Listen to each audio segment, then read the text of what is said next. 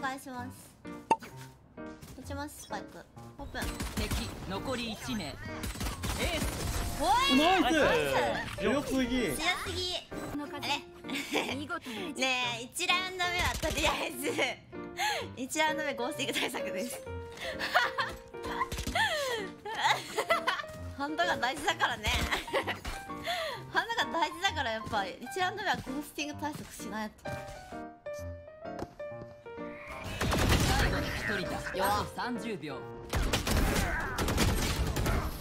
弱すぎつらいめっちゃ今反応遅くなかった。おばあちゃんだったんだけど。ミッド行こうよミッドファイルはミッド行けばなんとかなるっておばあちゃんが言ってたラムの。おばあちゃんバルやってんだよねラムの。ジェット戦。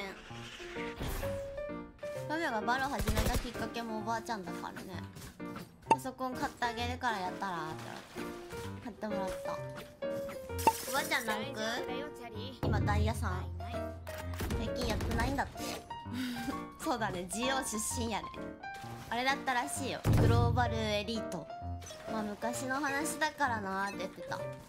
最近はもう全然やってないって 場物語。牧場物語してるわ。なんかジェットのブリンク修正入ってからあんまりやってないって。ジェット OTP だったからね。やる気なくなっちゃったんだって。A に敵がいる。敵残り1名。SSS S S シュだシュだシュナイストライです。さん黙れ黙れ。俺 S 取るよ。シュオッケーメイドオッケー。オッケーオッケーオッケーオッケー。オッケー本当にごめん本当にごめん。本当にごめん。ナイスナイス。ナイスおい犠牲者出てるよ。絶対なんか今の倒しちゃいけないみたいな雰囲気あったから。うん倒せなかったよ。最後の1人だありがとうございました。ありがとうございました。知らないラムネさん結婚してください嫌です。プロ